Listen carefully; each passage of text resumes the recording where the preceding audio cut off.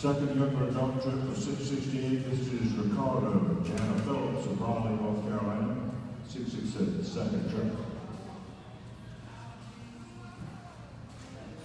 First of roughly fourteen trips left in the younger children's.